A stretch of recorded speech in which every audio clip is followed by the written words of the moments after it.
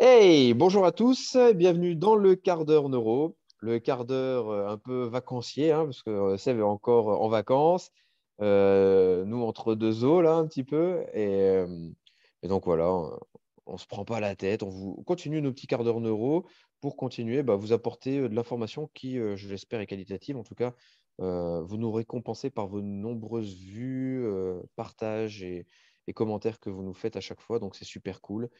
Euh, donc, n'hésitez pas à continuer à nous abreuver de questionnements comme vous faites toutes les semaines. Et euh, voilà, on revient sur les questions au fur et à mesure. Euh, la question de la semaine, c'est une question un peu plus générique. C'est quelles sont les qualités que tous les grands coachs partagent? C'est des questions qui reviennent quand même souvent, ça, hein, entre les qualités que les coachs partagent, qu'est-ce qu'il faut faire comme formation, qu'est-ce qu'il faut lire, etc. comme livre. Mais c'est mmh. quand même des questions qu'on retrouve même beaucoup dans notre formation où les gens bah, cherchent vraiment tout le temps à s'améliorer. Mmh. Et du coup, euh, je pense que c'est légitime de se poser de ce genre de questions. Bah, du coup, c'est déjà une première qualité, ça. Chercher à se poser des questions, l'amélioration constante, euh, l'humilité, entre guillemets, face à la, connaissance, aller chercher des nouvelles billes, aller chercher à s'épauler, à se faire épauler. Ouais. Ouais. Ok.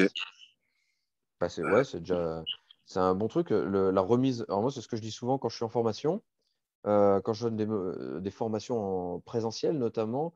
Mhm. La chose que je répète euh, dès que je donne bah, le classement final, le, la validation ou pas du truc, je dis bon, bah, c'est qu'une étape, c'est qu'un début. Et la remise en question perpétuelle, c'est ce qui va permettre aux gens de, en tout cas, vous, entraîneurs, de progresser. Donc, c'est d'aller chercher, peut-être aller encore plus loin. je pense peut-être que même euh, les gens là, qui font notre formation, on, leur recommande bah, d'avoir encore plus de curiosité dans chaque domaine et puis de continuer à aller euh, se former ou se spécialiser dans des courants que nous, on ne traite pas forcément. C'est vrai qu'on mmh. on a beaucoup de coachs sportifs, euh, de professions paramédicales comme les kinés, les, je crois qu'il y a des ostéos. des... les ostéos, des psychomotriciens et tout. Mais nous, ce qu'on leur dit, bah, c'est à un moment, il va falloir aller faire le lien entre ces pratiques-là et euh, donc, nous, on donne des premières billes euh, et puis à eux d'aller creuser dans leur domaine euh, s'ils veulent spécifier parce que, voilà, en tout cas, comme on ne propose pas de médical ou de paramédical, on, leur, on, les invite à aller compléter leur formation. Et je pense que il faudrait que chacun. tu sais, quand tu vas dans une formation, tu vois toujours des nouveaux trucs. ça peut parler de motricité. Quoi. Je sais pas, je, je vais prendre l'exemple d'une formation en boxe, tu vois. Euh, j'ai fait pas mal de, formations dans ce domaine-là quand même. Et tu parles un peu de motricité à un moment. Après, tu, sais, tu vas parler euh, de qualité physique. Après, tu vas parler. En fait, tu brosses des choses générales, tu sais, dans les formations. Euh, Ça serait la curiosité alors? Ouais, la curiosité à se dire tiens, tu sais, c'est comme quand tu connais pas un mot, bah, tu vas aller chercher ce qu'il veut dire dans le dictionnaire. Bah, là, pareil, il y a une notion que tu n'as pas trop développée. Bah, va la développer, même si ce n'est pas forcément le truc que tu vas faire le plus dans ton domaine après, mais ça t'apporte de la mmh. curiosité, te dire ah ouais, tiens, il y a ça qui existe aussi.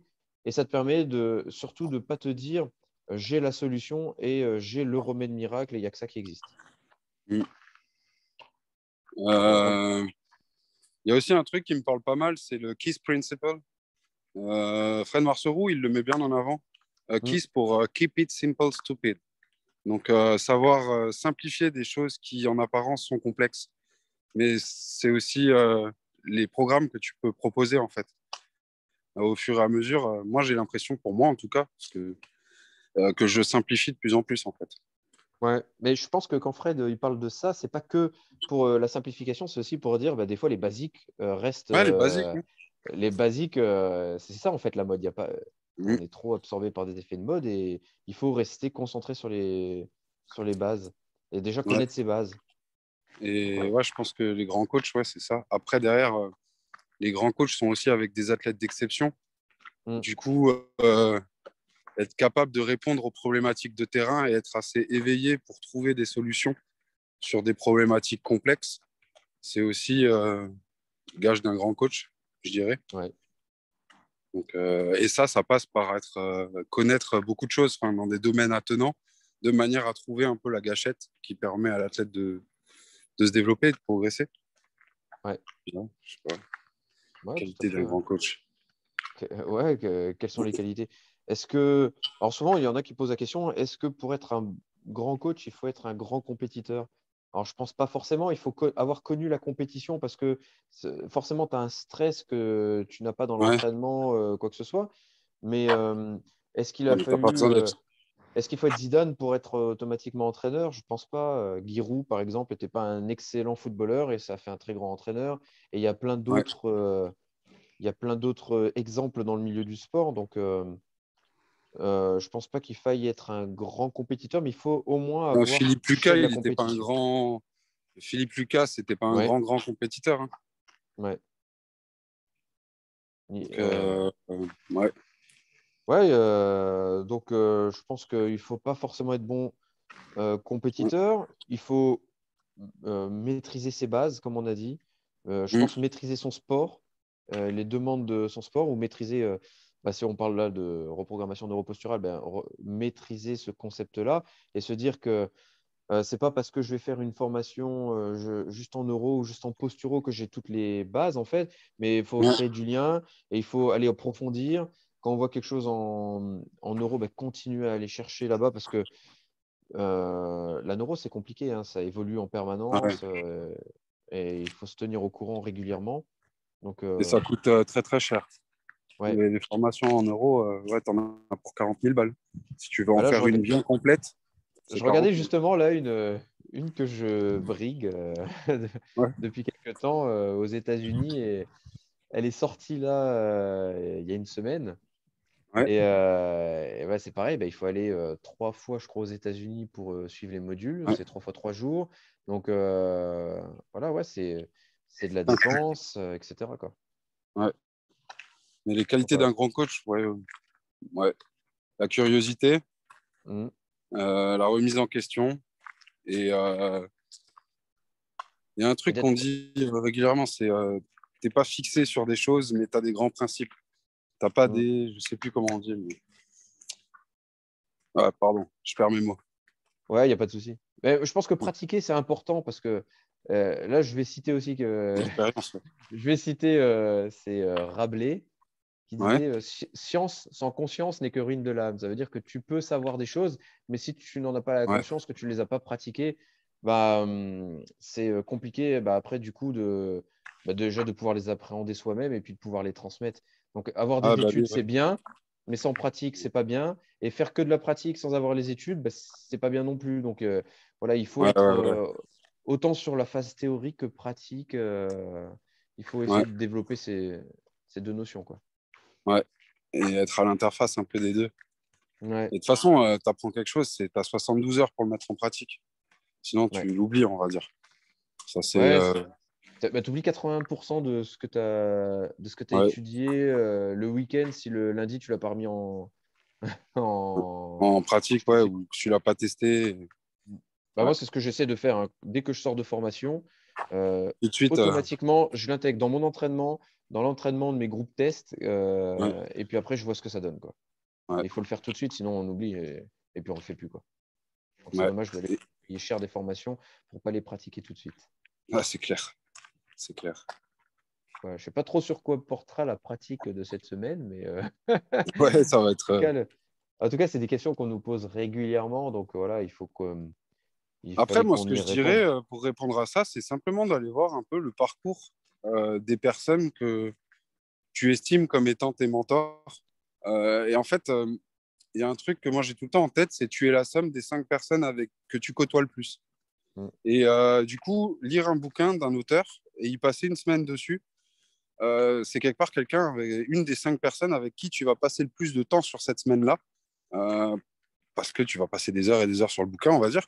Et donc, du coup, aller t'intéresser à, l'autobiographie ou la, la, biographie de ces personnes-là, si c'est des, préparateurs physiques, euh, parce que là, on parle de prépa physique, euh, c'est aussi intéressant pour comprendre un peu euh, les choix qu'ils ont pu faire, par quoi ils sont passés, etc. Et si tu peux même les contacter par mail, le mindset et tout ça, c'est mmh. cool, tu vois. Et, et tu, en croisant si tu fais ça toutes les semaines pendant 52 semaines, bah, tu as 52 personnes, euh, si tu as fait que de la prépa physique, qui 52 auteurs, peut-être moins parce qu'il y en a qui ont écrit plusieurs bouquins, Et tu croiseras un peu les grandes lignes et tu trouveras un peu aussi euh, quelles sont les qualités qui sont communes à tous. Je sais pas, je me dis ça. Ça vient de me venir. Ok, bah, c'est pas mal. Ça donnerait presque envie de te dire, ouais, allez contacter. Bah, moi, je, sais que je l'ai fait pour certains auteurs que j'ai lus, notamment en prépa physique, que j'ai contacté, que, avec qui j'ai même fait des formations ou des stages pour. Euh, et puis après, essayer de discuter avec eux pour comprendre euh, bah, le parcours. C'est quoi leur euh, vision C'est quoi leur vision? D'ailleurs, c'est un peu ce qu'on fait comme ce soir avec Strongfeed, Julien Pinault, qu'on a réinvité sur notre webinaire parce qu'il faut aller chercher derrière. C'est bien d'entendre des gens sur des podcasts, mais tu t'aperçois quand tu fais les formations en présentiel avec eux que bien souvent, ce que tu as, vu sur, ce que as entendu sur un podcast, c'était euh, quelque chose, c'était comme une introduction à un livre, tu vois. Et, euh, et c'est dans la formation que tu vas vraiment découvrir le, le plein potentiel de, des outils. Quoi. Donc, euh, ah, moi, ça me fait penser à un mec en particulier, ça. La découverte été ouf. Je pense que tu vois de qui je parle, qui anime les séminaires comme jamais. Ah ça oui, une claque. Oui, oui, on est d'accord. Mathieu Boulet. Bah ouais, carrément.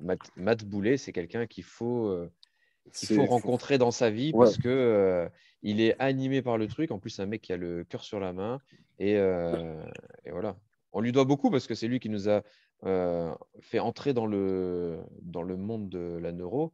Et, et, et voilà, il y a une il est, euh, moi, habité fait... par la neuro que c'est euh, exceptionnel ah, de, de, le rencontrer. tu sais quoi, j'avais fait euh, Essential of Elite Performance de ZELS en 2015. Dès qu'il est sorti, je l'ai pris. Et en mmh. fait, j'étais pas allé au bout du cursus. et en rencontrant Mathieu et en faisant niveau 1, niveau 2, niveau 3, j'ai réouvert le truc. Je me suis dit, ah, mais en ah, fait, il y a quelque chose là derrière. Et en fait, j'étais pas allé au bout, mais je l'avais acheté au tout début. Et j'utilisais déjà le pen free reset euh, sur le kettlebell et des choses comme mmh. ça.